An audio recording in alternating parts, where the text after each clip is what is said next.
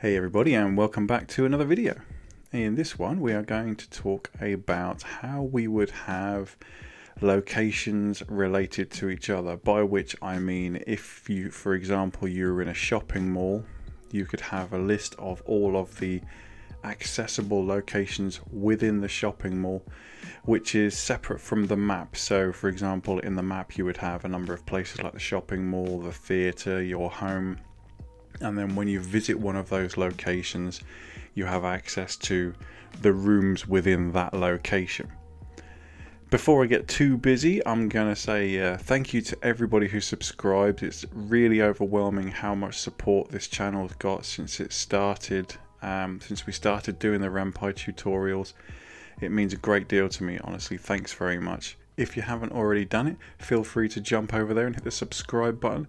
Maybe hit the bell icon if you want to get notified when I upload a new video. And of course, give me a thumbs up on this video and let me know what you think in the comments below. And feel free to request any future topics if you have anything you'd like me to do. Obviously, a huge shout out to all of my supporters on Subscribestar. I don't do this for the money, but the fact that people are willing to put their hand in their pockets and bung a couple of quid my way for doing this and writing the games that I write, again, it means a great deal to me, so thanks very much. Building on what we've already started, we've already got a class called Place and that already has some properties and things like that in it. But what we want to do is we want to adjust that class and add another one to be able to do that. Now this guy already has x and y coordinates for the map. So all we're going to do to this class is we're going to add a property called id and we're going to put in self.id equals id like so and then what we're going to do as well is I'm going to add a space in here because I normally have spaces between my decorators. For some reason I didn't do it in the last video. And I'm going to add another property, but I'm not going to do that right now because we want to do this in a logical order. So what we need to do now is we need to create a new class. So we're going to do that here and we're going to call this subplace. And that also inherits from object and we need to do define the init and obviously it has to have self first. Now the first thing that we want to give this is an ID of its own and then we want to give it a parent.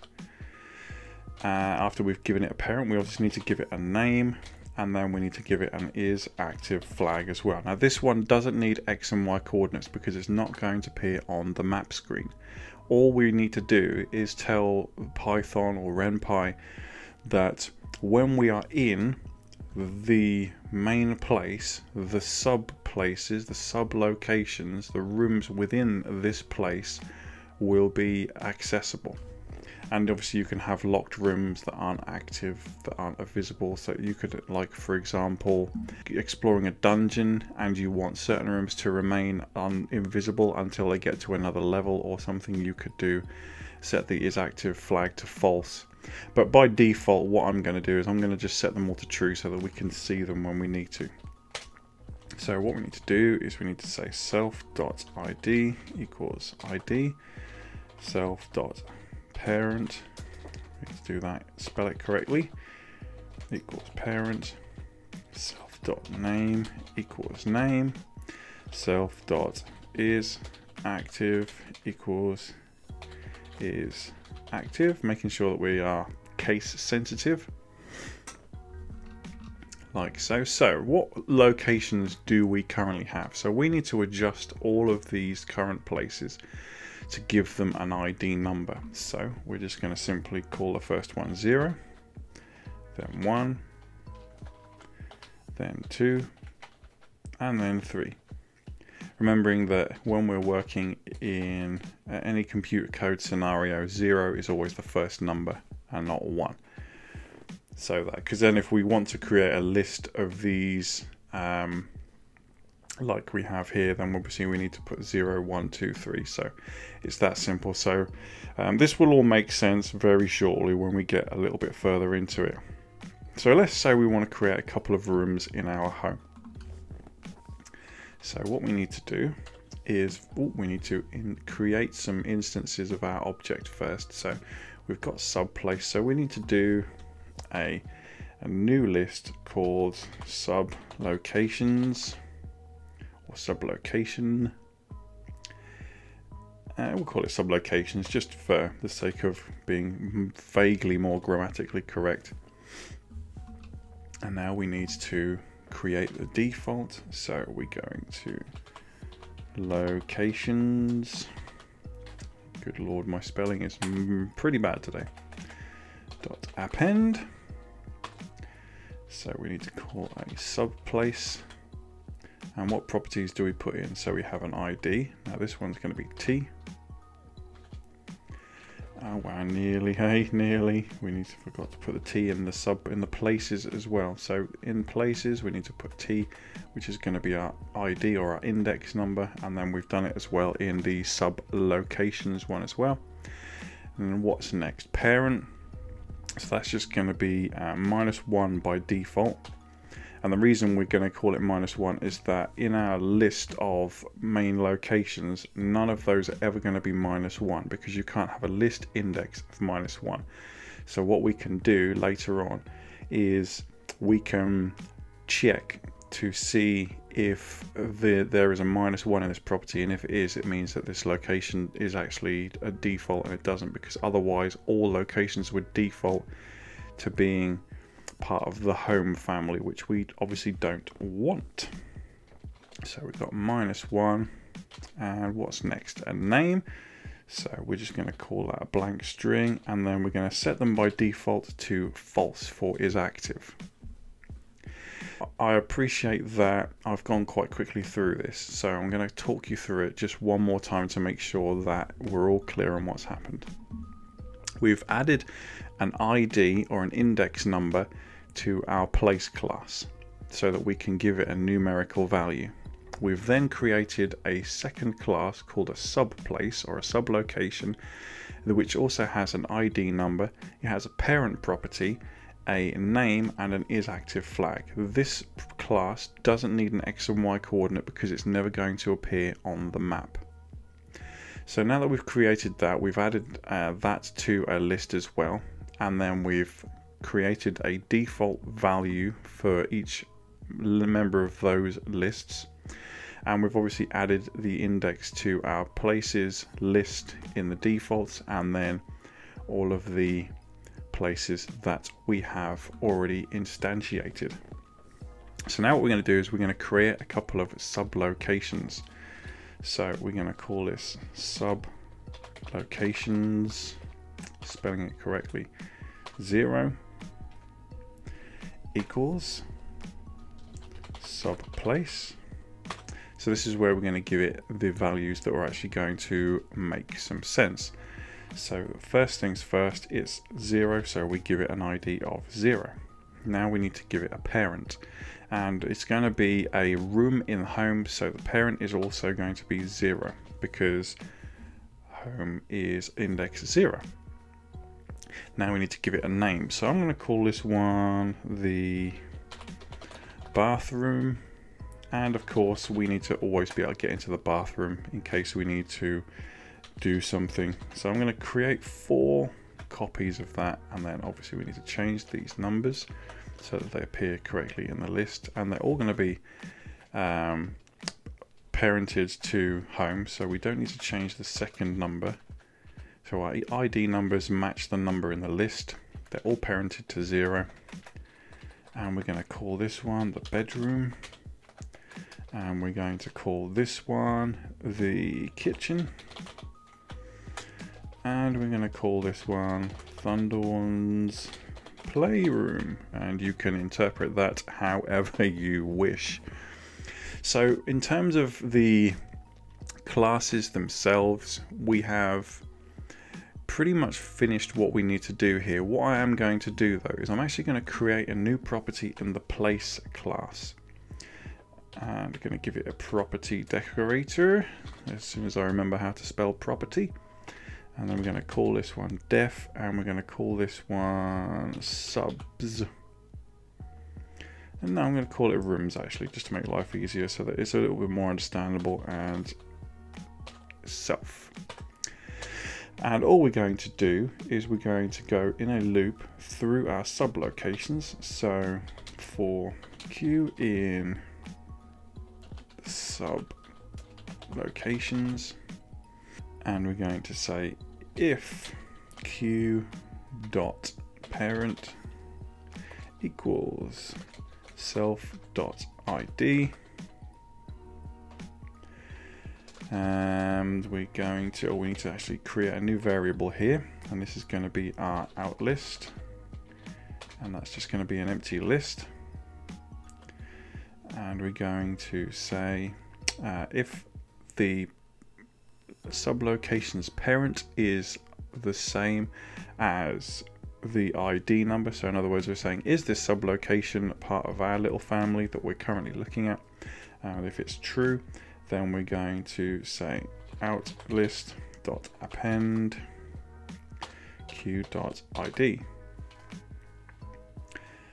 Uh, yeah, and that's all we need to do.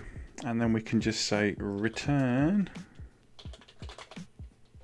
out list like that and that will return a list of rooms so if we ever do need to just see a list and we don't want to faff around we can just say uh, give me the place dot rooms and it will just get, return a list of all of the rooms within that particular location. So in the case of home if we were to do in fact you know what? Let's just do it. Let's just do it.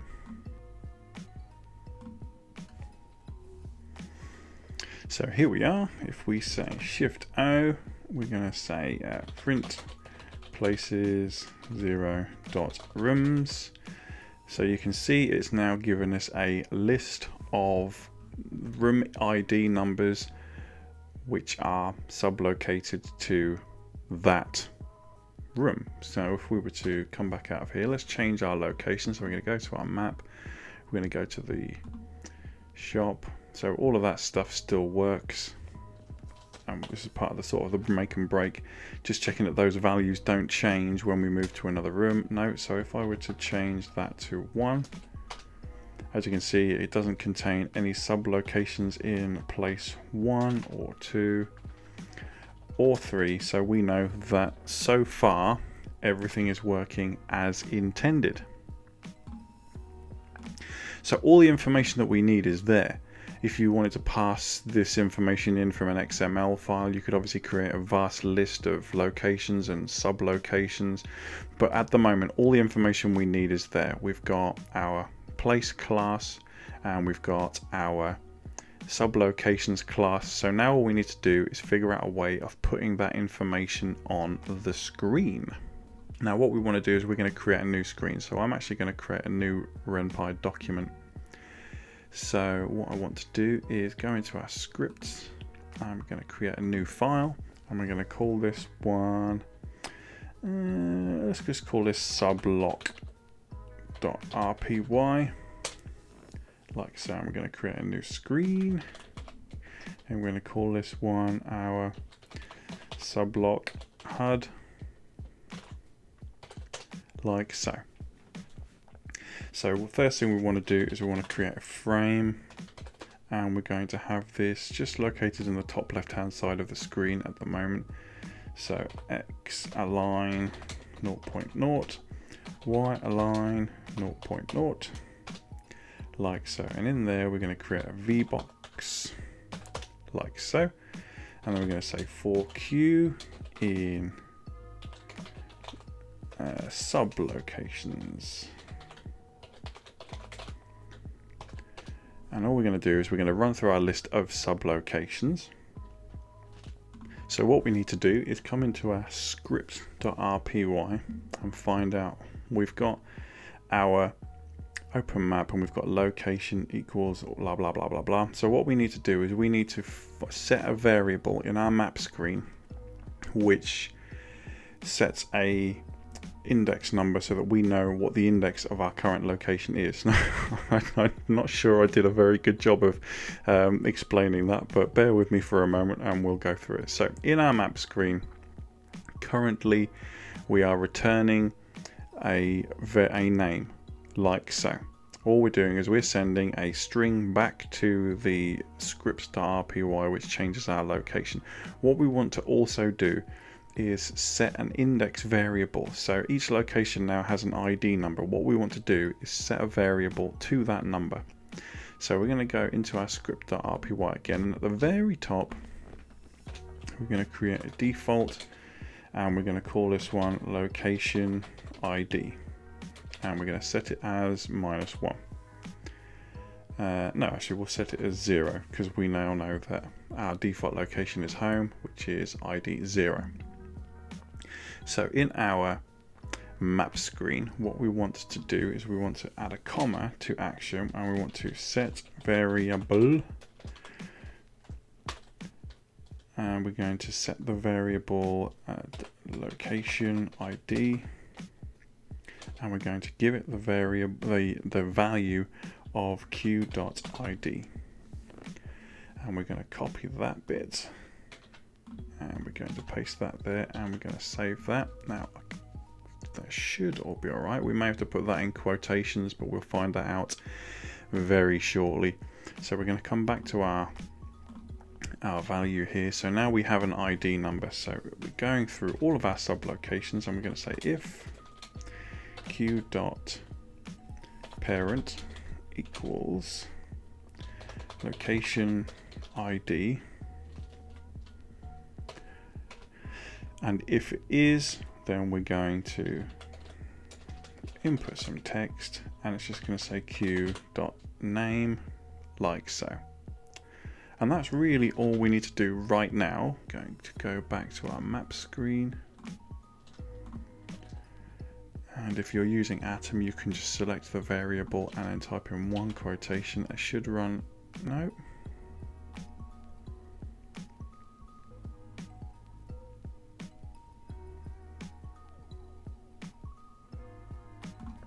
Ah we have to put this in front of here like that because it's a return statement. So I believe that's what we need to do. We just copy and paste that bit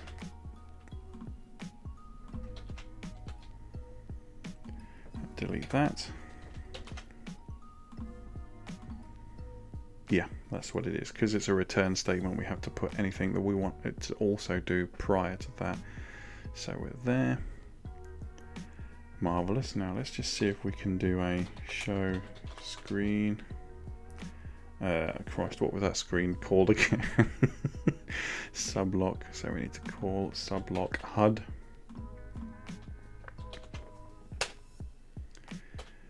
So as you can see, it's there. It's obscured by the other one. So we can change the positional information and we can add it to our interface. We just wanted to check that it actually worked, which it does. So we're going to quit out of this. Now we can change the X pos I'm quite happy with. We're going to change this to Y position. And we're going to give it like 150 pixels, should be fine. And then we're going to copy that. And where we go into our screens.rpy. So in our say screen, we're going to add a statement that says use sublock HUD and hopefully, assuming that we haven't made a complete balls up, we should now see that whenever there's text to be seen, we will see the sublocations like so.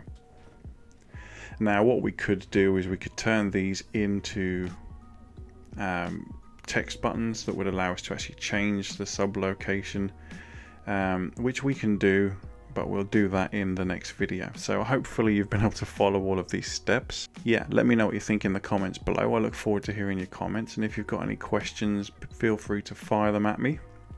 And I look forward to seeing all of those. And see you in the next video. Thanks very much. Bye bye.